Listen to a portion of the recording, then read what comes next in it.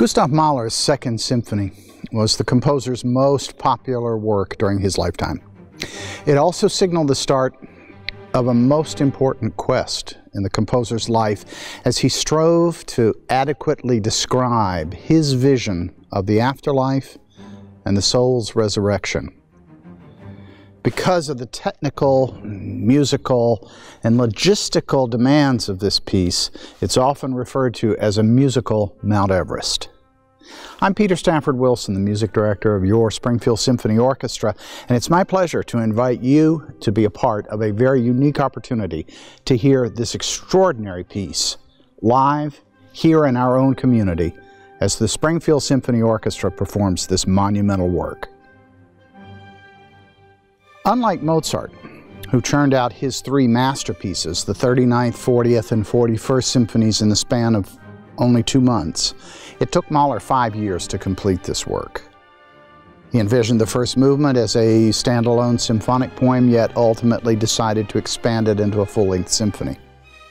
Another interesting aspect of this work is the fact that Mahler followed Beethoven's model of introducing a chorus for the final movement of the piece, thus expanding his palette available as the work reached its architectural climax.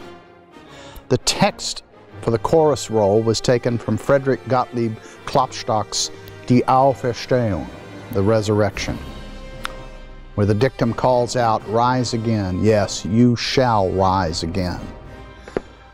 Mahler used two verses of this piece and then created his own final verse.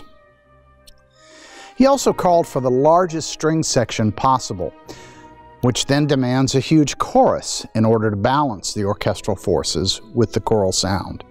And we're delighted to have singers from all over Springfield, not only our, our SSO chorale, but the Wittenberg uh, choral forces and singers from all over our community as a part of this.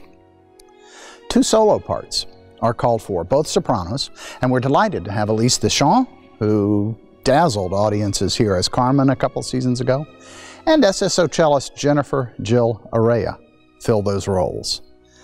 Now, as the first movement is set off from the rest of the piece, followed by a long period of silence, Jennifer intends to play in the cello section for the first movement, then slip out to assume her duties as soloist for the end of the piece.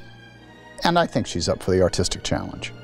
So don't miss this amazing opportunity to hear the sublime music of Gustav Mahler's Resurrection Symphony as we transform this barren stage here at the Kuss Auditorium to one of the largest communities of musicians we've ever assembled right here in April.